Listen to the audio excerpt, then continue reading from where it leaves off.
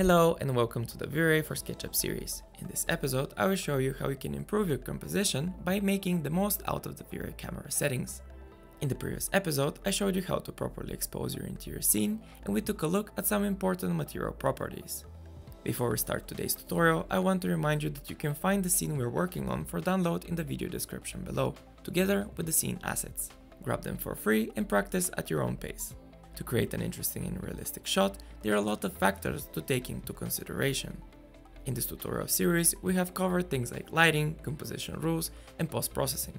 Now it's time to give attention to one of the most important components, and that's the camera. Think of the camera as your primary tool. Based on its position and settings, you will have to adjust the lighting, composition, and post-processing. I have already set up my camera to face the kitchen. Let's start an interactive render to visualize our steps so far. As you can see, we have a cup of coffee and a cookie, the perfect combination to start your day with. Now let's create an image where the cookie and the cup will be our focal point. But before we do that, let's fix the lighting in our scene. As right now, everything is way too bright.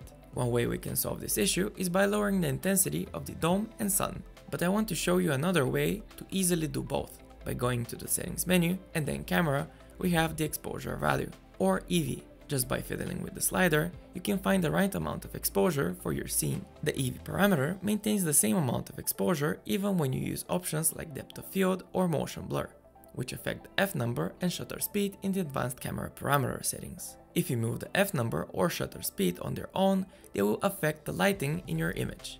The role of the EV is to maintain the exposure of your image even when the f-number or shutter speed are being changed. It does that by controlling the ISO parameter.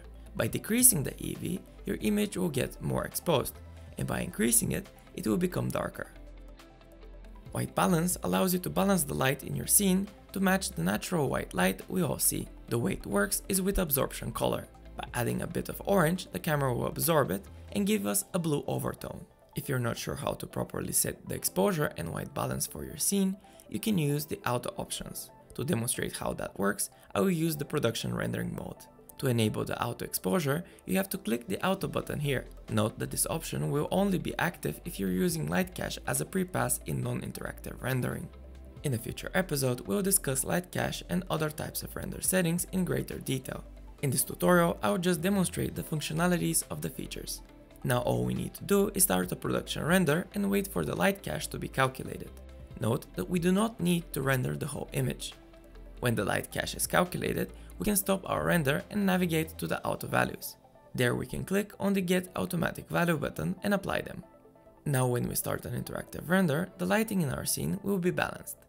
If we take this close-up shot in real life, it will most likely have a blurry background, which will help a lot with making our main objects stand out. To help us achieve that look, we can use the depth of field, or DOF. The DOF option allows you to point anywhere in the scene and that portion of the image will become in focus while the rest of the image will become blurry. Let's see how that works. By clicking on this target here and pointing towards the lemons, you can see that our focus distance changed. Now let's add a bit of defocus. What happened is that the lemons stayed in focus and the cookies and the cup are now blurred. We can change that by targeting the cup. Now our focus is in the foreground, but the cookie is still too blurry. Let's select the target and click on the cookie. I think this looks much better. Now we can truly admire the cookie. If you want to focus the attention of the viewer even further, you can use the vignetting effect. What it does, it darkens the corners of your image. This utility is part of real-life cameras. It gives the image a more photorealistic look. That's why most 3D artists add it as an effect in the post-processing stage. But with V-Ray, we have it directly built in into the camera effects, so you can play around with it while in the production phase. Finally, let's check the vertical lens tilt. This option allows you to tilt or straighten the edges of your scene just like that. With this tool, we can easily apply perspective corrections caused by lens distortions. And that's a wrap for this episode. We went over the camera parameters and by tweaking them we were able to create an interesting close-up shot. I hope you found this information useful and you'll use some of these camera tips to create your own stunning shots. Thank you for being part of the V-Ray experience.